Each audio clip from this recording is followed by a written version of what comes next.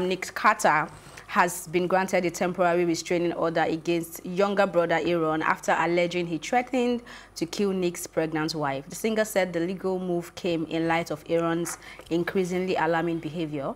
Aaron must now stay at least 100 feet away from Nick, his family, and their Las Vegas home. In response, Aaron Carter um, said he was astounded by the accusation, and he went on to say, I do not wish harm to anyone, especially my family.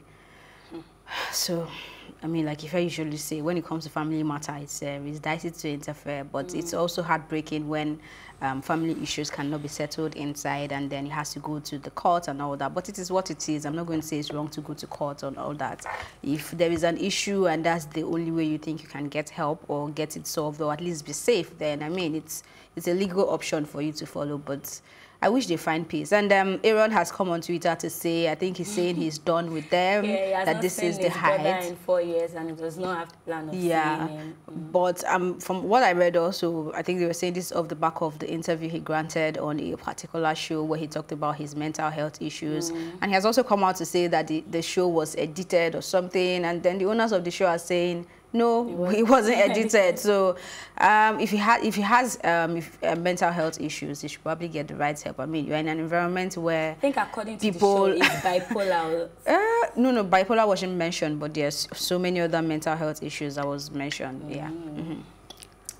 Well, I mean, I don't think um, restraining order can actually keep you safe from somebody that is mentally ill, mm. to hmm. be honest. Mm. Because they really don't care. If you don't want to hurt, hurt someone, it has to be like your personal decision.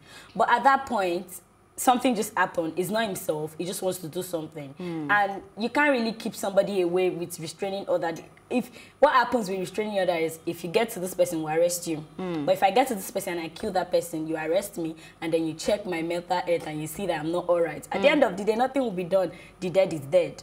Mm. And I mean, for somebody that flaunts is gone in videos and everything, and you know well that he's not mentally okay, I think they should just put him under maybe an house arrest or something because it's, it's a serious threat to um, security over the um around him he can well but he's saying it's still allegedly that he's not a threat so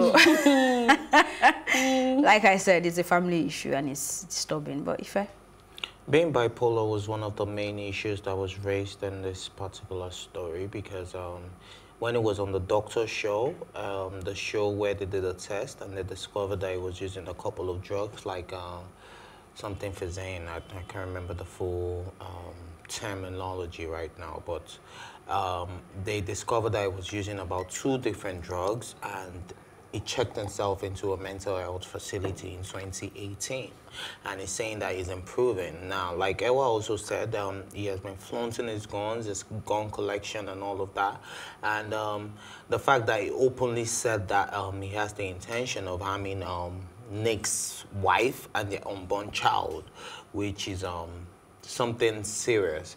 So a restraining order, even though this is a family issue, a restraining order is just appropriate because if you have been on a show, even though you tried to say it was doctored, we all watched the show. I went back to watch the show and I saw his behavior. It was very erratic. It was very unbalanced. It was imbalanced. It was very um, how do I put it? He had split personality, and that's the basic definition of bipolar.